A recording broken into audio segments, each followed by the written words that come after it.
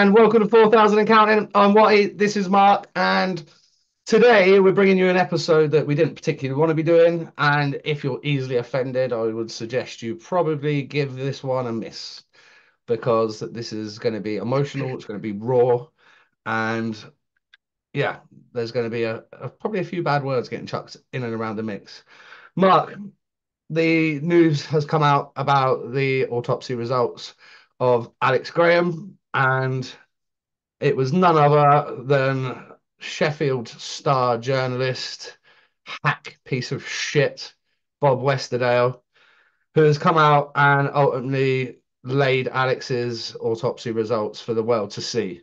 Now, we're not going to get into the, the ins and outs of Alex's death, but as everybody knows, Alex was a friend of the show.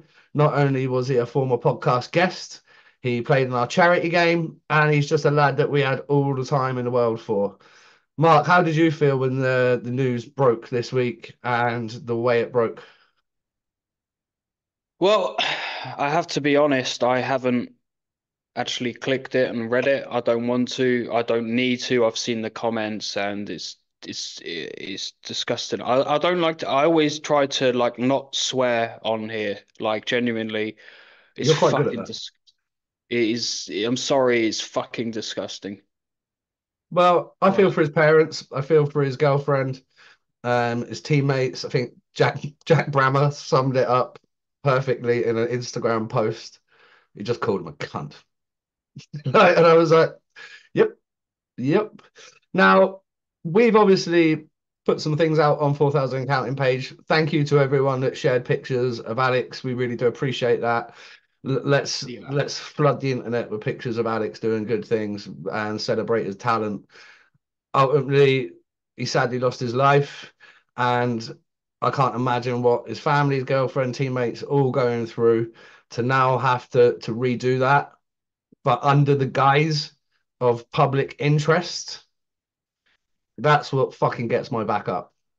It's not the public interest. The public, we're all happy not knowing. And Dave Cloughton said it best in in a comment on our, one of our Facebook posts this week. Said those that needed to know already knew. Like that's it. Like yeah, those that needed to know knew. It's I get it. People people let's play devil's advocate. People saying he's a journalist, he's a journalist and he's he's posting about stuff that is related to hockey. Not one mention of fucking Steelers winning three Champions League games. Nothing. Sensationalism journalism, clickbait bullshit. Now, uh, understandably, we're pissed off. His teammates are pissed off. No doubt his mum and dad are going to be pissed off. Abby's going to be pissed off. The British ice hockey public are upset. They feel sick to their stomachs that his parents are going to have to relive this in in the public domain, which is absolutely shocking. This is not the first time Bob has done this. I'm going to cast back to a Facebook post that we made. Believe it was Ju- July. Let me find it right now. We made a Facebook post on July the 30th. Once again, an absolutely disgusting article in the Sheffield Star from Bob Westerdale. How many times do we have to put up with this clown? And the reason that that is, and, and I'll I'll link this back to Gemma Hart, Andre's former partner, Ollie's mum, Pies, Piesy's boy. Um, Bob, who made I add, may I add was a friend of Andre's, along with a Sheffield Star. They put an article out which very little truth in, but they again laid the autopsy results out from Andre's death and fabricated because I've known what happened to Andre since day one. The minute I found out what happened to Andre, I already knew because people that were meant to know knew. And the fact that that got posted the way it did, that was enough to make me sick. And now he's done it again. But he seems to get a free pass, this guy. Let's not forget, he was also the fucking same dickhead that shared a photo of Adam Johnson lying on the ice in his taking his final breaths. And that should have been the last time that man ever reported on ice hockey in this country. It should have been the last time that man ever stepped foot in an ice rink in this country. Where does it stop, Mark? Because he doesn't seem to be getting the message. It doesn't, and it's clickbait, and a lot of journalists, not just him, but journalists seem to get a free, like you said earlier, they seem to get a free pass. I think, you know, there, there seems to, uh, there are some good journalists out there, and there are some horrendous journalists, like really, really bad. And Bob is one of those. I'm sorry to say it, but I, I have to say it. He's that's terrible journalism. And I know there's good stuff and bad stuff in journalism, but sometimes we need morals and some empathy of situations. And he hasn't showed that at all. And I know journalism is a tough job. I'm not defending him, but you need to have like some thought before you put stuff out there. I know there's unpleasant stuff in the world to write about, but there's just some things that you don't need to say. Yeah. There's things that you don't need to show. And one again, of the comments, Mark, one of the comments on, on our page, I said maybe several comments on our page. If he didn't post it, no one else would. Well, I call fucking bullshit because nobody else posted about Pisey. Nobody else posted about Alex. Yeah, we know the coroner's results were out. So what? Like we didn't report on it.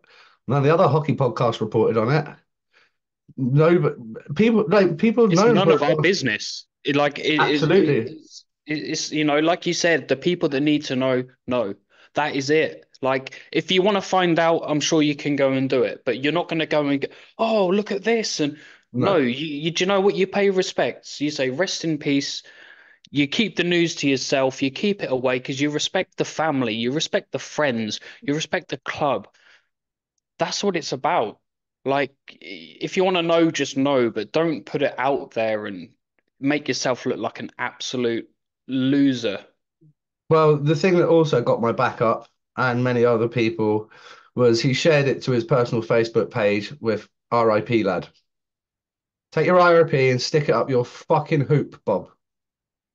How can you share that article where, and let's not also forget another couple of couple of things that are going to come out right now that might not have, but I've been sitting on for a little while. Obviously, the initial Alex getting kicked out of GB20s, it was Bob who reported on it. The fact that Alex had been drinking on the plane. Again, we all knew that. Anyone that was in the hockey circles, anyone that was connected closely to the GB program knew what was going on. But Bob, in his wisdom, felt the need to put it out there and kick him when he was down. Now, that was the. I've never particularly liked Bob, but I never had any kind of strong feelings either way. When he did that, I started to really dislike him.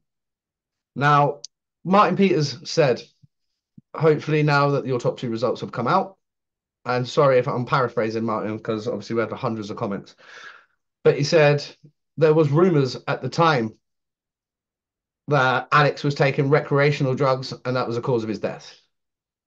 Now, I've got a voice note on our Twitter from a former player saying that Bob, and this is going back months and months and months, that Bob had told him that Alex had passed away because of cocaine.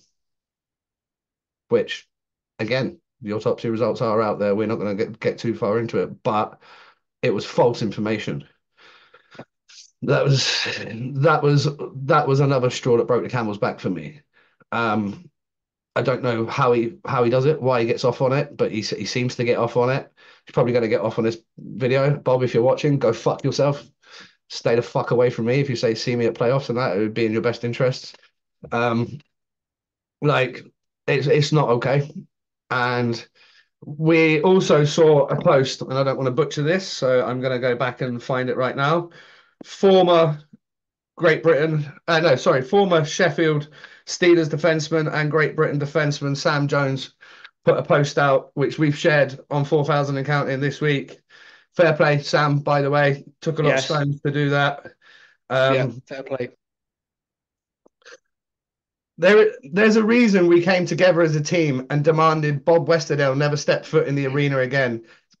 It seems as though nothing's changed. What a sad little life he must live. He was a scumbag before, and he clearly hasn't learned anything from his actions since last year. Well said, Absolutely Sam. spot on. If your hometown club don't even want you in the rink, it's time to fucking wrap it up here. You're an old man. You're a fucking has been, never been, never was. Just stay the fuck away from our game. Like, seriously. I said this would be emotive, and I said there might be some bad words in there, trying to keep a lid on it. And I can feel myself getting more pissed off as we go on doing this. I want to remember the good times. I want to remember the wild thing. And like, go back. I encourage everybody go listen to Alex Graham's episode. It was before he went off to the OHL. Go listen to Paisley's episode. There's some great stories. And then if you go listen to the late the later Paisley episode when we was trying to get this GMHL thing off the ground, um, he's just he was a good dude, and the fact that he chose Paisley's birthday to release the autopsy results kind of shows you what sort of man he is. Our our thoughts remain with Ollie and Gemma, obviously, and anyone uh, that's related to Alex and everybody there, because what Bob did is upset an 11 year old child. And for me, that's not fucking okay. We raised a good amount of money for Ollie on the back of Paisley's death. And that allowed him to go to North America to, to be with Patty. Uh, oh, I can't remember his dad's name off the top of my head. Sorry, forgive me. Um, but to be with the family. And that was a huge thing for us to do that. Like, I felt proud to do that and that's that's what the hockey community should be doing in a situation like this. We shouldn't be kicking a man while he's down, and we also shouldn't be gutter pressing those that are no longer with us, especially when they happen to be friends of ours. And all the stories that have come out today, we shared a post um, just to say, you know, we're thinking of Paisley. It's been a couple of years. We missed the big man, the big brute. And there's go on our Facebook page. There's some brilliant stories about Paisley, and it's all about how good he is with the kids, how good he was with the kids, and like how he taught kids to take their first crossovers or shoot their first puck or coached them on the first camp. They're the sort of things that we should be remembering these guys for, remembering them for their talents on the ice and remembering them for the human beings they were off the ice. Both both great Absolutely, boys. Yeah. Um, and I can't say the same about Bob. Um, gutted that we had to make this video, and hopefully, hopefully that's the last we see of Bob. But you know, I can't see it. Um, I don't know.